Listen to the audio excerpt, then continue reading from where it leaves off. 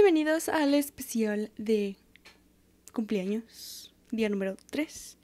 Hoy es mi cumpleaños, entonces el tema de hoy está entretenido, lo usual, lo que le gusta a la gente. Entonces espero que lo disfruten y que estos dos últimos casos no los hayan espantado tanto. Pero en fin, el día de hoy les traigo algo un poquito distinto a lo que estuvimos platicando. Démosle, ahora sí.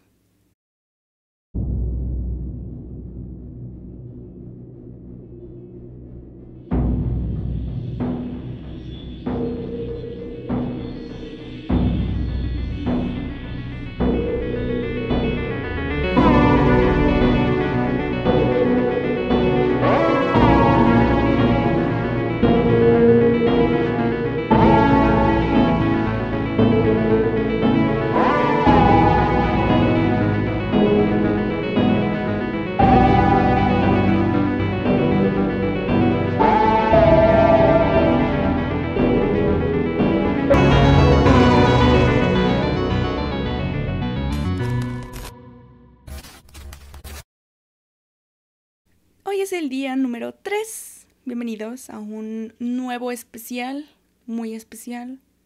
Expediente especial número 3 del cuarto de expediente. Está muy genial. Estoy emocionada porque el día de hoy les traigo algo un poquito distinto a lo que hemos estado hablando estos dos últimos especiales. Si estuvieron muy intensos, pero es algo que a la gente le gusta conocer.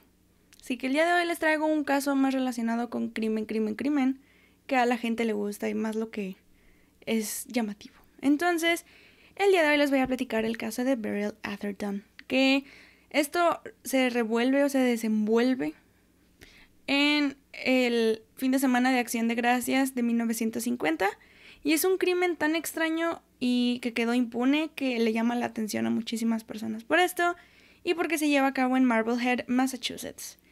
Todo esto comienza porque una tormenta de nieve se estaba avecinando al pueblo y Beryl Atherton, una maestra de primaria de 47 años de edad con 25 años de experiencia dando clases, pues estaba disfrutando de su pueblo y vivía sola con su perrito Eski, un Spitz japonés y que se había quedado después de la muerte del padre de Beryl. Era descrita como una solterona porque no tenía muchos amigos y porque no se sabía mucho de su vida privada y de sus relaciones, algo que para la época, según mucha gente, era normal. Describir a las mujeres como solteronas. Ok. Y la tormenta estaba amenazando con ser cada vez más fuerte, por lo que el viernes, entonces ese fin de semana, decidió ir a la tienda antes de que todo su pueblo se convirtiera en un campo de nieve y se perdiera todo por completo. Sacó la basura alrededor de las 6 de la tarde y se fue a la tienda y mientras regresaba vio a un pequeño niño que la estaba observando desde la ventana de su casa. Lo saludó y fue la última vez en que vio a alguien a Beryl en muchos días. Nevó completamente en Marblehead como se tenía esperado y el lechero el sábado fue a dejar su producto y no pasó nada más hasta el lunes cuando vuelve a ir y toca la puerta. Se preocupó tanto este hombre por Beryl porque ella era delgada y frágil y pues era una mujer que tal vez necesitaba asistencia en algo. Tocó el lechero una vez la casa y nada. Tocó por segunda vez y nada. Pero lo que más sorprendió fue que él logró entrar y esta estaba abierta. No tenía seguro en lo absoluto la puerta de entrada. Se paseó por toda la casa y llamó a Beryl, pero no tuvo respuesta hasta que llegó a la cocina y se encontró con la escena que marcaría por completo el caso. Beryl se encontraba tirada en el piso boca arriba y con un charco de sangre saliendo de su cabeza. Pint, como era conocido el lechero, salió corriendo hacia la casa de un vecino y exigió que se llamara a la policía porque justo lo que acababa de suceder era algo increíble y no se sabía qué más. La policía dedujo que Beryl llevaba entonces días muerta, porque todo lo que había comprado en la tienda estaba todavía en la mesa y en su bolsa. Entonces, creían que momentos después de que había llegado a su casa pudo haber sido asesinada. Porque, pues, todo aparentaba de que Justo había llegado ella de la tienda y todo sucedió. En el reporte, Beryl tenía tres costillas rotas y marcas de haber sido estrangulada tan fuerte que las marcas de los dedos todavía estaban marcadas en el cuerpo, días después, días después de haber sido asesinada.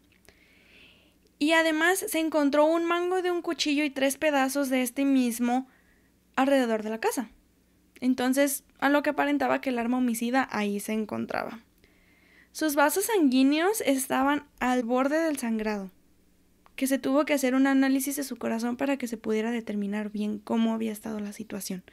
O sea, el desangrado de Beryl era bastante, era muchísimo. Y algo que está de manera que desinforma, pues, es de que muchos decían que el perrito Esky había sido este asesinado, que también lo habían golpeado y que había muerto, pero en realidad no. Sí fue violentado el perro, sí fue agredido de una manera tan horrible, pero afortunadamente vivió y se lo llevaron con un veterinario para que pudiera obtener los cuidados necesarios. Justo cuando se descubrió el cuerpo fue cuando se llevaron a Esky y solo fue agredido severamente. La escena del crimen pues no tenía pistas para empezar, o sea, no había pistas de la escena del crimen del asesinato de Beryl Atherton y no se veía la entrada forzada, ni huellas dactilares o huellas de zapatos y de los vecinos a los que se les hizo las entrevistas, nadie escuchó absolutamente nada. Solamente se encontraba el collar de Beryl roto por el movimiento que pudo haber hecho el cuchillo al momento de atacarla y la señal de dos dedos rotos dando a entender entonces que Beryl había tratado de defenderse. Probablemente lo que muchos creen es que el asesino en realidad se metió a su casa sin ella saber, que se haya quedado la puerta abierta o que ya la haya abierto por alguna manera, pero era tan escaso todo en la escena que se creyó que el asesino se quedó a, recoger durante mucho tiempo y que por haber sido en la cocina tuvo acceso a productos de limpieza. Y que pues así pudo haber recogido algún cabello que se haya quedado muchos creen que haya sido así. Las teorías obviamente no dejaron de salir, ¿verdad? Porque pues era algo que había azotado a un pueblo en el que no se tenía registro de que se hiciera nada malo y de que era muy seguro. Y Beryl tenía un diario donde guardaba registro de todas sus relaciones. Es así como se supo que había estado en otras tres relaciones y que esto de solterona pues como que no quedaba tan bien. Pero de estas tres relaciones, ninguno de los individuos levantó sospecha y solamente se tenía como este registro de que había tenido una relación fallida y se decepcionó, pero nada más, era todo. Y no hubo una gama amplia de sospechosos más que un degenerado de 28 años cuya coartada pues fue aprobada, entonces de nuevo regresaron a ceros en el caso. Pero lo único inconsistente era que ella en realidad cerró su cuenta de banco que tenía alrededor de 10 mil dólares, que para la época era muchísimo. Pero era todo. Era absolutamente todo lo que había, solamente ella había cerrado su cuenta de banco. Lo que sí se sabía de Beryl era que ella nunca salía los domingos de su casa. Algo que probablemente el asesino sabía y que pues él pensó que iba a encontrar la manera de hacerlo. Y las conspiraciones, les digo, la gente somos muy capaces de crear y crear y crear cosas.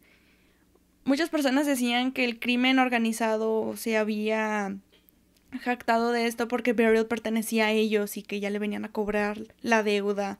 Otros decían que un familiar se enteró de una suma de dinero enorme que tenía Beryl y que pues vino por eso, por ese dinero. Y otros decían que un ex novio pudo haber querido venganza. Pero nada, nada salía, la gente no sabía qué más hacer, era todo. Y fue así como el caso se enfrió. Así era nada, porque no había más que ver. La gente en Marblehead, Marblehead en la actualidad afirma saber quién la mató y que en realidad esta persona sigue vivo. Pero que en realidad, como tiene alrededor de 80 y 90 años, probablemente salga impune porque no hay suficiente evidencia para inculparlo. Entonces, a la fecha se cree que el asesino de Beryl Atherton sigue allá afuera. Pero aún es un misterio sin resolver.